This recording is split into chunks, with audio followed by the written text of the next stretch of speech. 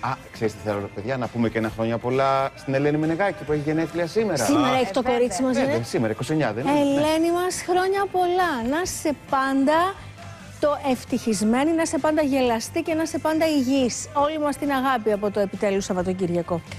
Για να δούμε τι θα δούμε σήμερα σε αυτή την υπερπαραγωγή του weekend.